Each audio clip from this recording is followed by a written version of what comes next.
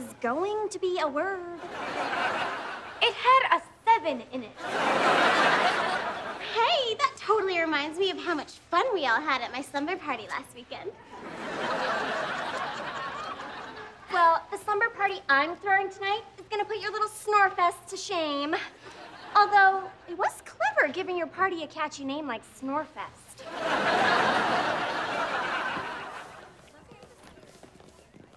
Adam, I'm the cheerleaders over for a slumber party tonight, and it's crucial that the house be free of anything that can be perceived as boring or lame. Like, for example, you. or, for another example, your face. You're saying all the cheerleaders will be there? Like, for example, Echo? Or, for another example, Echo's face?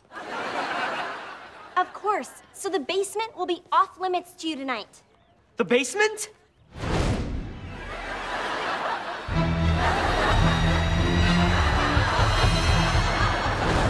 You can't have a slumber party in the basement tonight. Why not?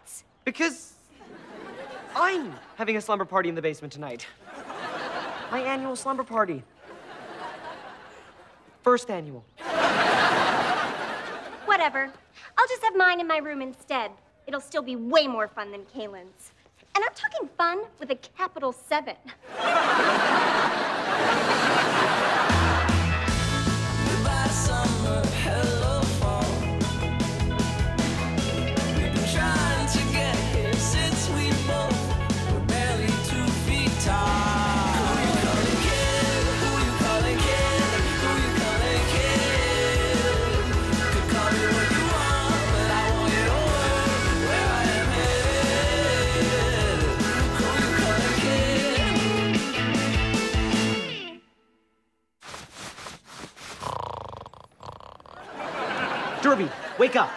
Need you to come to my slumber party. No way. I can't sleep anywhere but my own bed.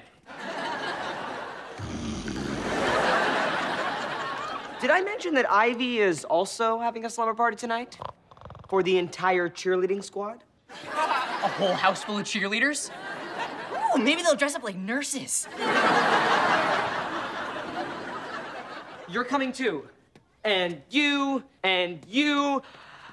Not you, Farty Farnsworth, for obvious reasons. You live too far away? Oh, you too, Slab. You're coming to my slumber party tonight. It'll be fun. I'll only come if there's no science. But science is all around us. Like gravity. You're okay if there's gravity, right? Nope. Fine, whatever. There will be no science. At the slumber party. Right now, we have science class. Nope. Come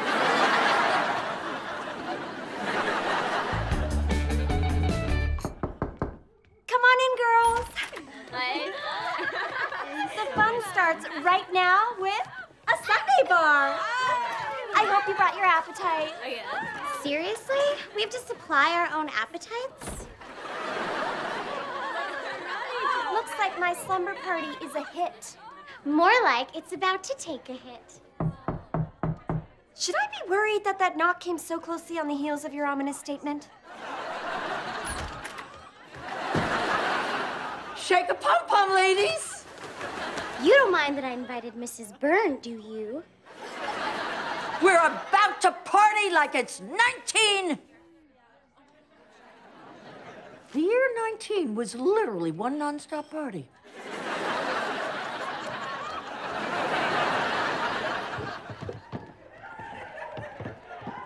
Think those cheerleaders are in danger. I should go check it out. Derby, that's laughter. I think those cheerleaders are laughing. I should go check it out. The girls' party is off limits. We'll be staying down here in the rec room. Once I make sure it's completely free of science.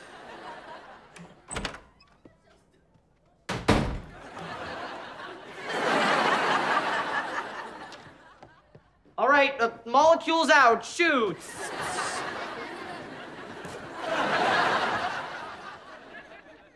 What is that? Ah!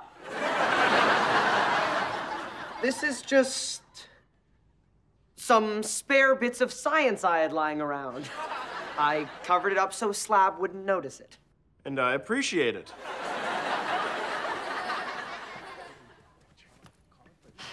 Slab may believe that crazy story, but I don't. You got me. Actually, it's a fuzzy blue ghost. And if you touch it, it will steal your soul and sell it to hobos. I can see now why you would want to protect us from the truth. Are you sure there's no gravity in here? Shouldn't we be floating up on the ceiling or something? We are. We are completely upside down. It's hard to tell because the furniture is also floating upside down. See? You're right. We are upside down. I can feel the blood rushing to my head. Uh, quick, someone grab me. I think I'm about to fall up.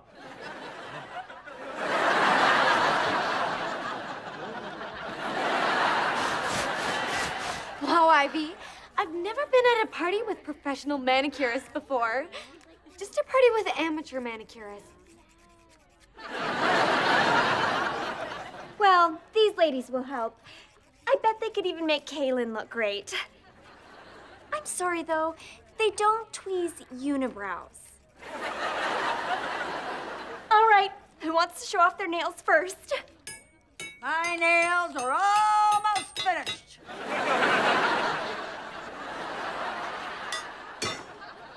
The key to strong nails is to keep the slag nice and hot.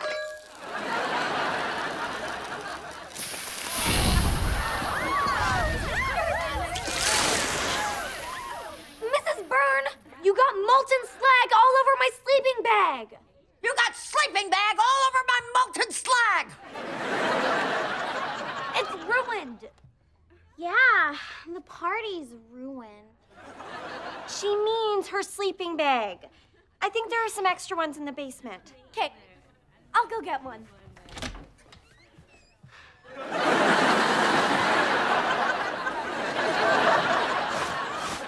oh, hey guys. Echo, you shouldn't be down here. Sorry, I just came to find a spare sleeping bag, or ooh, this blanket will do nicely. No! What? Why can't I have it? If you remove that blanket, you'll let all the science go free. And gravity will immediately take hold, sending us crashing up to the floor above. Well, now that you have your perfectly reasonable answer, good night.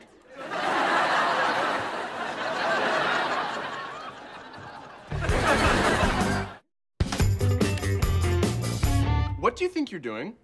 I'm cranking the heat upstairs. That way, Echo will be so warm, she won't need a blanket.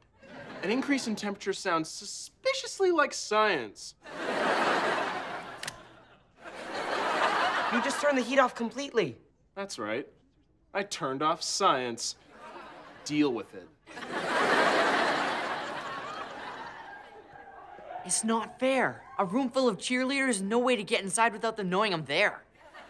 Have you considered a disguise that would let you blend right in and move freely among them? Tell me more. To infiltrate a girls' slumber party, we just need to dress the part.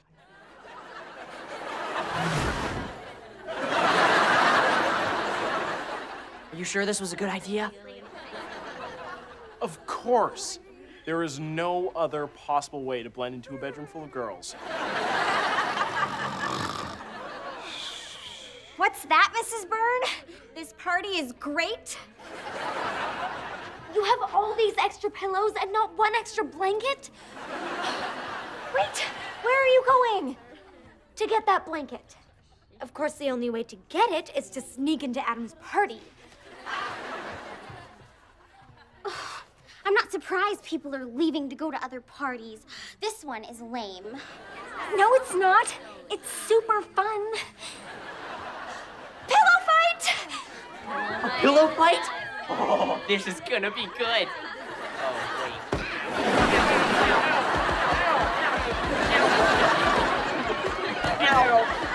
Even your pillows are trying to leave this party. Hey, get back here and fight like a pillow. Are we having a pillow fight?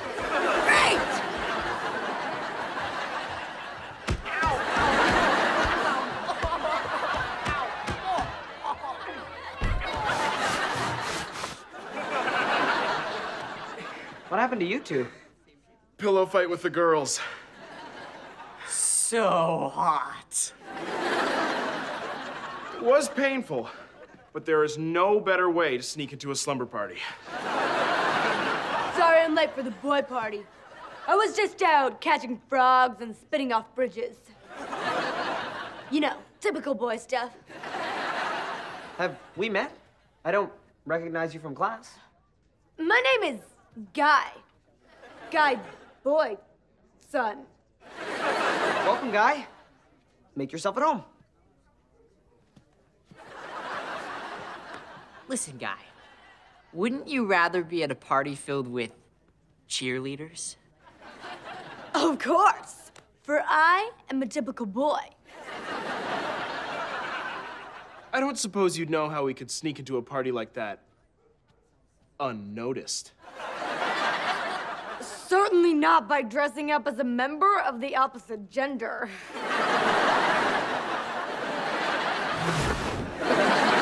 Stuffed animals.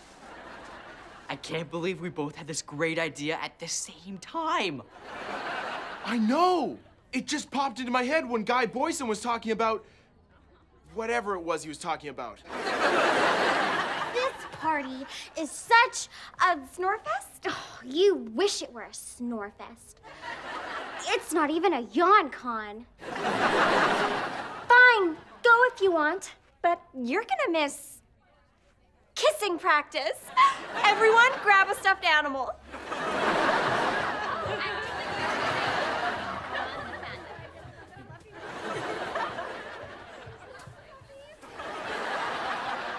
Only two left. Which one should I choose? They both look so kissable.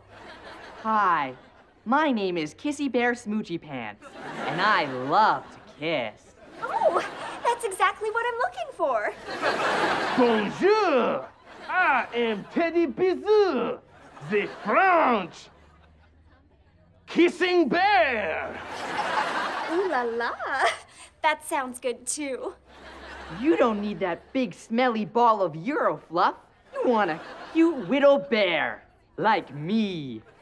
Smoochy Pants better shut his fuzzy trap, unless he wants this stuffing knocked out of him. What's with all the fluffy paw slapping? Go back to sleep, Mrs. Byrne. It's just two giant talking stuffed bears fighting over who gets to practice kissing with me. Started. Kissing, huh? I'll show you how it's done. Uh-oh. Tout à l'heure.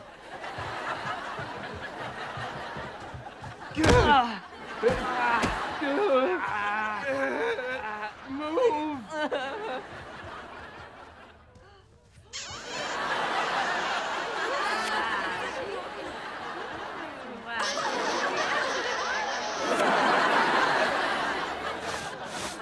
So, let's do some boy things. Like flick towels at each other. Oh no, we do not have any towels. I know. I can take that blanket upstairs and cut it into towel sized pieces using my sewing scissors. I mean, my woodsman's axe. Uh, guy, don't touch that blanket. Why not, dude? Because it's covering my prized collection of. Don't say blankets. Don't say blankets. Blankets. Idiot. Perfect. Is that me? Of course not, Guy. We only just met. Although, strangely, you do look a bit like. Uh oh. Did you make this? No, of course not. It's in your house. That's because I. V made it. Why would Ivy have all these pictures of me? It's creepy. Really? You're not even the least bit flattered? Fair enough. The thing is, Ivy's obsessed with you. She is? Big time. She wants to be you. But I'm already me. Which is exactly why she's planning to get rid of you. Permanently. What? That seems a little hard to believe. Don't say I'll prove it. Don't say I'll prove it. I'll prove it. Seriously, dude. You and I need to have a talk later.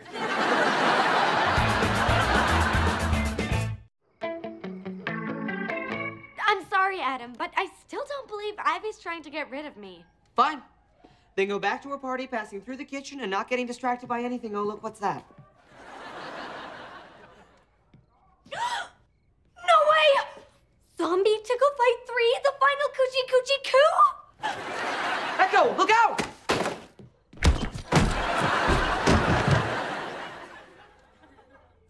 Ow. That came down faster than I expected. An unexpected trap to come down.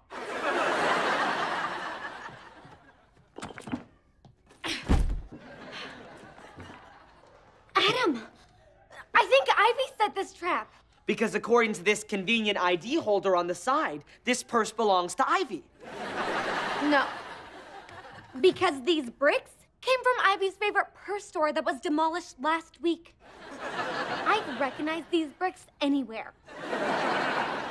Um, either way, you're convinced it was Ivy, right? Yes, only a crazed stalker would know about my secret obsession with this movie. Or a close friend who's a good listener. Nope, crazed stalker. Oh no, she's coming. I've got to get out of here.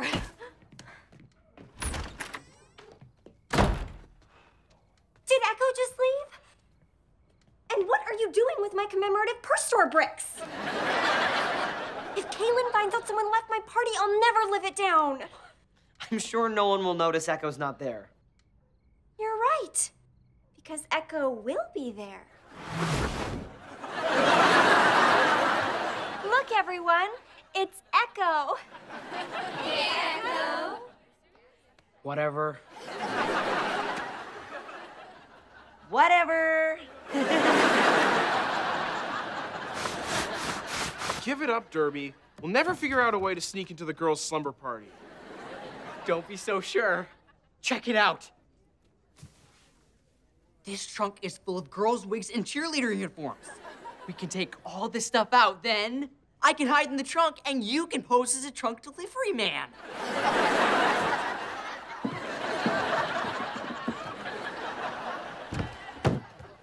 Nope, we're done. It's working. Everyone thinks this is the best slumber party ever. Nothing can go wrong now. You know, in my experience, you shouldn't say things like that because. I'm back. Well, you get the point. I'm not gonna live in fear just because you have an unhealthy obsession with me. You might not be happy with who you are, but that doesn't mean you get to be me. The only person who gets to be me is me. Isn't that right, Echo? That's right. Echo. What's going on here? How should I know? Maybe you should ask Echo. Or you could also ask Echo. Echo, I can explain. I see what's going on here. You do? It wasn't Ivy that took all those pictures and built that shrine. It was you. You know? It all makes sense now. All those secret looks, the way you study my every move, that time you offered to do my laundry and didn't return it. That was today. It's ready now. You're obsessed with me. Ivy doesn't want to be me. You want to be me. What? You're even dressed up like me. Oh, so that's why you did that. Yes. I want to be you, not be with you. So you set that trap in the kitchen. Yes.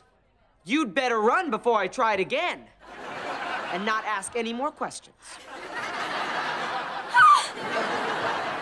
You should get rid of that shrine. It's creepy to be that obsessed with someone.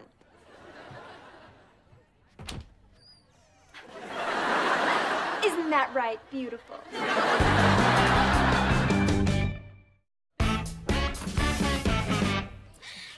Ivy. Kaylin. I bet you can't wait to gloat about how your party was better than mine. Well, I, for one, had a great time at your party. Even if I did think you were trying to eliminate me. Oh, that's so sweet. Like I would ever hurt you. Of course, if I wanted to, it would be so easy. the key is to make it look like an accident. I admit it wasn't a complete train wreck, but I think we can all agree my slumber party was better. Right, Echo? Actually, I wouldn't know. I wasn't at your slumber party. What about you, Ivy? Be honest. Mine was better. I wasn't there either. Well, everyone else was there, right? No. If none of you were there, then who was at my party?